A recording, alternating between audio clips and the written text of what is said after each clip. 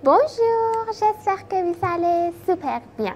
Moi, je m'appelle Shabnam, j'ai une licence de la langue et la littérature française à l'Université de l'Iran.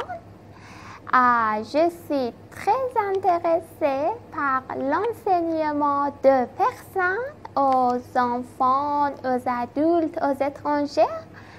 Je serai très contente de vous voir. Merci, bonne chance. سلام. امیدوارم حالتون خوب باشه. من شبنمم.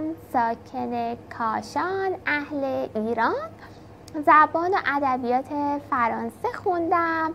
و خیلی دوست دارم که زبان فارسی و فرهنگم رو به شما آموزش بدم و با فرهنگ های مختلف آشنا بشم. ممنونم. امیدوارم که به زودی ببینمتون موفق بشین.